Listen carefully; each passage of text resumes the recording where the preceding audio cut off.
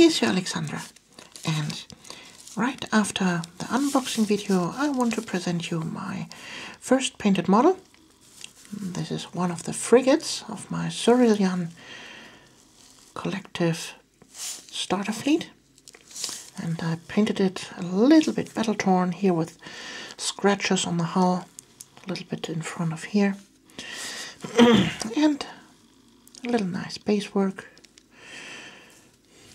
Was painted black, then added some sand, painted it blue, made a little bit uh, washy-like uh, color to make it look like a nebula, painted in a little bit stars, and, and voila, a nice looking base.